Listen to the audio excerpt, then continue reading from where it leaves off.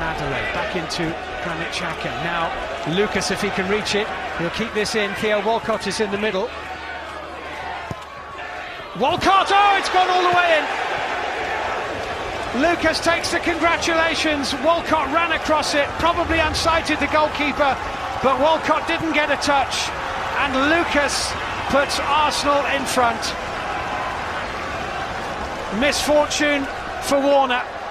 Lucas scores, Sutton United nil, Arsenal one. Well, it's how quickly Arsenal break. You can see it's the first time Sutton have thrown bodies forward and not got back quickly enough. Lucas does well to keep the ball in and then cuts inside on his left foot. That's a cross into a space. Excellent run by Theo Walcott as well, and he's got the presence of mind just to to let the ball go through his legs. He knows exactly where the goalkeeper is. Tries to get a little touch actually. He misses it. And poor Worner, he can't react quickly enough. He has to. Last minute of the first half, and uh, given away to May. What was Ospina doing? And May wide with three, four yellow shirts with him in the penalty area. What was Ospina doing? He had to go and clip the ball from behind the goal where the Arsenal fans are, but he got a bit of stick for that clearance. Awful, sloppy play.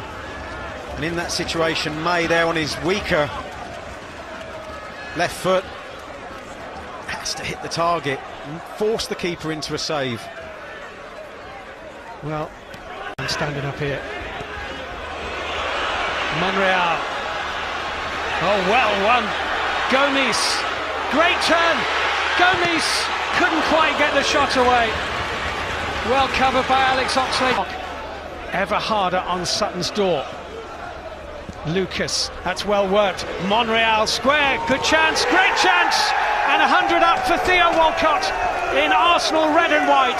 That's his century for the club, and that is surely Arsenal through to the quarter-finals of the FA Cup because it's Sutton United nil, Arsenal 2, and that was quality.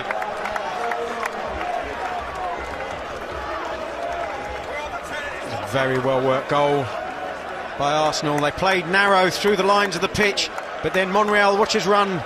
It's excellent run, well spotted. It's a good delivery into the box, and Theo Walcott doesn't race towards the goal. Just keeps his discipline and keeps in a decent area. And it's a simple finish for him in the end. Post at corners, in it goes from Deacon, up goes Collins! Well, there are the two big chances in the space of a minute. And he knows it. What an opportunity this is. Ospina is all over the place when this ball comes into the box. Good strength by Collins, keeps his eye on the ball and just can't direct it downwards. Ospina, you could